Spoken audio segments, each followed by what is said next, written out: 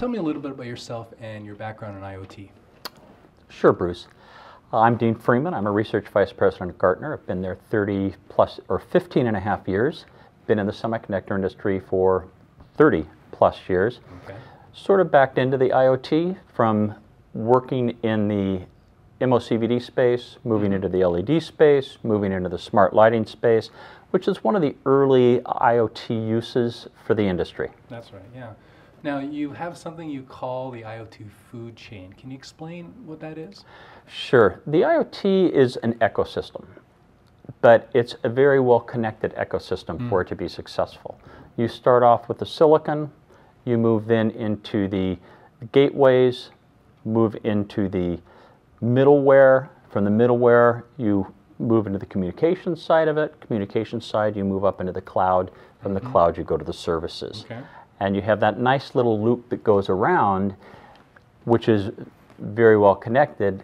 Every piece of the puzzle, depending on the next piece and the piece before it. Right. So it's a very well integrated food chain, or at least it needs to be a very well integrated food chain mm. for you to have to have a successful IoT solution. Now, food chain, um, does that imply value? Is there an order to the food chain? You said starting, you know, from sensors to, uh, to it's, services? It's mostly order, but with that order mm. does come the value. Okay. At the silicon and sensors and the thing level, mm. that's usually the cheapest, the bottom part the of the food chain, value. the lowest value. Okay. As you start to move up the segments, your communications may or may not eventually outpace your the price of things mm-hmm. and the price of silicon. Mm-hmm. But then as you get to the top of the food chain, which is where the services and the applications reside. Okay. And so the value you're saying is is where in each of the segments then why don't you explain the value of each okay. of the segments? The, the value in each of the segments. So in in the thing, the value is in all right, I've got this little application right. that I want you to buy. Very right. similar to your cell phone applications. Okay. You know, go out, okay, I can uh, this track. is wearing the sensors, you're saying? Yeah, it's wearing the sensors. And okay. this is in the sensor area. Yeah. Then as I move up, you've got the gateway. The gateway is where I start to communicate and pass data to and from the thing into the into the cloud. Okay. I've got my communication, so the value there is in moving data again mm-hmm. from the uh, moving from the uh, data into the middleware. This is where all the software takes place. So, how do I get the data into the cloud? Mm-hmm. What rules do I have for my thing?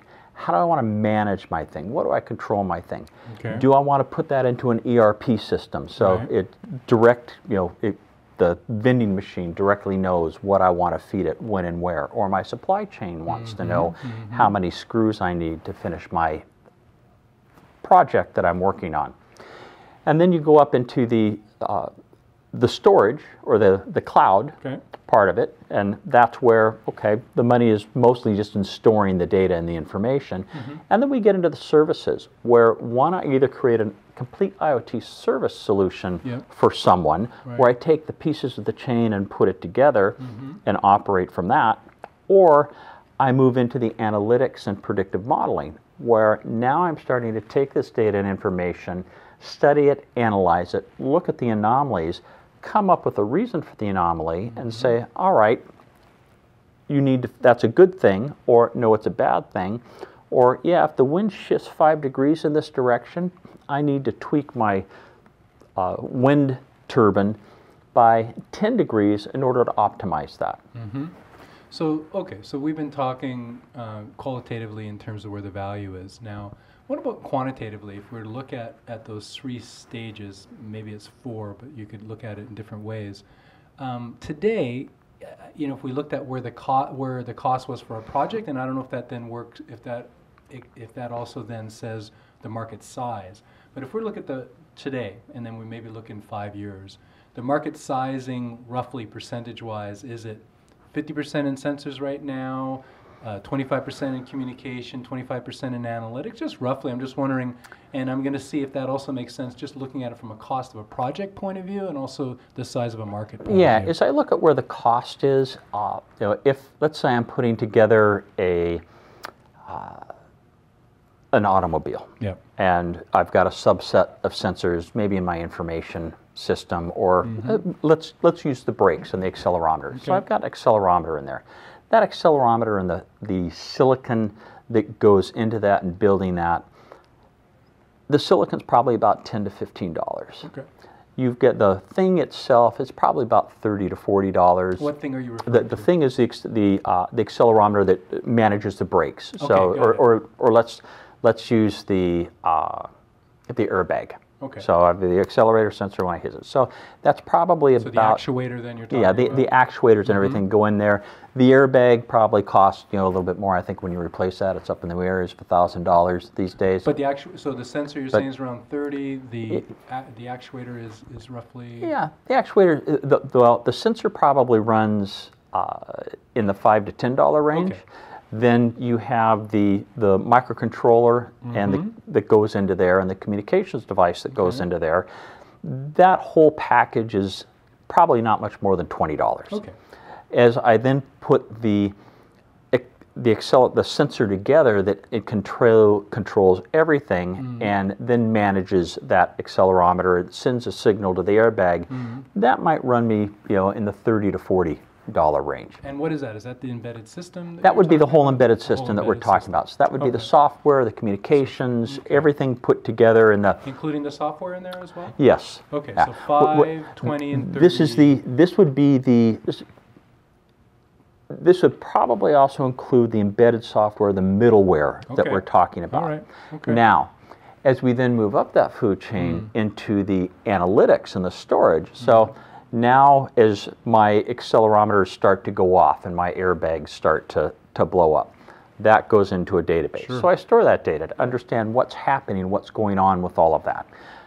I then analyze to say, all right, is it is it operating properly? You know, is it is it protecting the the person like it's supposed to? Is it initiate? You know, when I when the accelerometer hits, you know, Yeah. does that happen? Uh, and that is probably where the most value of the system takes place right Cost now. as well, or just value? co- no cost and value. Okay. So if I'm looking at about probably thirty dollars for that entire uh, package of uh, hardware and software Mm-hmm. that I've put together, then as I get up into the analytics and Mm-hmm. storage, I'm probably looking about three to four x that. So I'd be looking maybe 120 to 200, Okay. you know, 300 dollars for that one sensor. So you can see that that ratio adds up very quickly. Right, right. As we look at the whole market, the semiconductor market's about 34 billion hmm. in, twen- you- in 2020. In total, you're saying, or for In, in- IoT? in- for IoT. Okay. For, so the, the mm-hmm. total semiconductor market's roughly in just shy of 400 billion dollars right now. okay, So in 2020, we're looking at 34 billion for the IoT. all right. That's processing, sensing, and communications Okay, devices. almost 10%. So, so we, we don't look at the memory, we don't look at other parts okay, that go which in is there. but also just- there, yeah. Correct. Mm-hmm. Then as you go up to the services and storage Mm-hmm. segment of the market, that whole market is roughly in the $300 billion range In the same time frame? in the same time frame. Okay, So you can see that there's about a 10x difference in value between Hmm. the silicon and what we're looking at in the application storage part of the market. so then it does kind of match the pricing as well, in a It, sense, yes, right? it does. Uh, From a percentage point Yes. of view. Yeah, and, and I think I, you know, I agree with that in terms of where the value of IoT is, is going to be in the information. Mm-hmm. And, and so then it kind of, it's nice that the pricing and the value, and the value kind of matches that.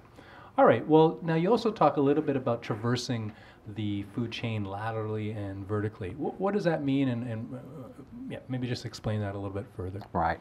Well, what that means is for a company to be successful, you've got to be able to get a product that sells both vertically, which we have some companies that are very successful at right now in the IoT space. But you also have to be able to branch out horizontally into different markets. Right.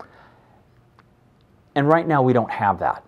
Right now you've you've got some companies trying to make that happen. You know, mm-hmm. some of your larger ones, mm-hmm. Amazon, uh, Microsoft, GE, IBM, mm-hmm. but the solutions aren't quite there yet. Right. So it creates a lot of opportunity for some of the smaller companies that have created verticals if they can spread their footprint wider it'll enable them to get a bigger piece of the IoT market.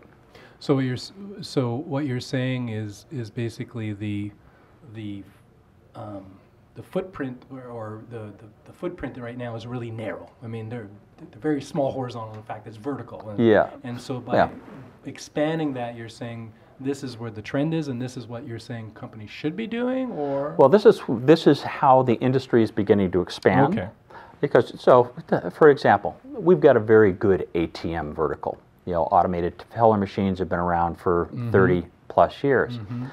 But we haven't been able to take that vertical and spread it horizontally into other markets. okay.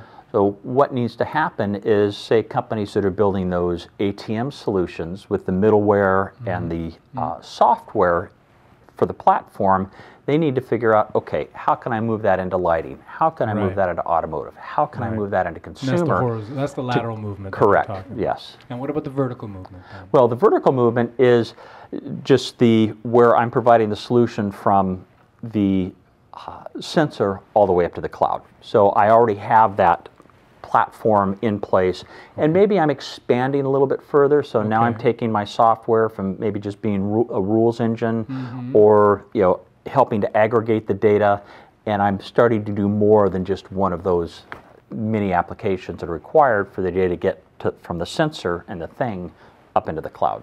Okay, so I think I understand what you're saying. So offering a full solution vertically for a particular segment, that's one approach, and then taking that segment, hopefully it's full solution, but maybe it doesn't have to be, and go horizontally within Mm-hmm. different within different uh, Yes. the different markets or different Mm-hmm. industry segments as well.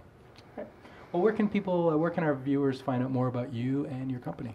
Right. Uh, they can go to Gartner.com, and at that point there, they can take a look at our research that is available on the uh, for the public.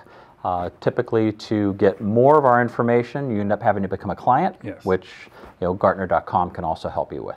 And is there an IoT section, or do you just search Yes, for it? there's a there's an IoT section. Uh, you can search under the IoT. We have over 100 analysts researching the IoT space, Really? all the way from the silicon to the cloud, Wow. with all the middleware and security combined in between. Okay. So we have a very large practice in this space at the at the moment. And is there any material there that's uh, freely available, or is it only for clients? Most of it is by purchase. There are some things that you can get. Uh, we do have some blog spots where we have active bloggers in this space. Mm-hmm. We also have some little tidbits and snippets from our symposium right. presentations that uh, the public might be able to acquire. Very good, Dean. Thank you. You're very welcome. Thank you, Bruce.